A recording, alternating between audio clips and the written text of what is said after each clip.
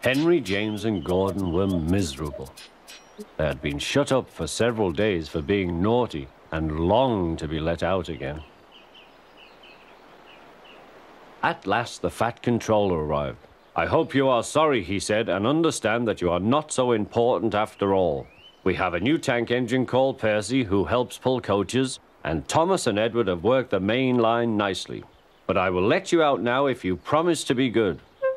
Yes, sir, said the three engines, we will. That's right, but please remember that this no shunting nonsense must stop. Hi everyone, Thomas here. If you'd like to watch more, check out some more of these really useful videos and make sure to subscribe.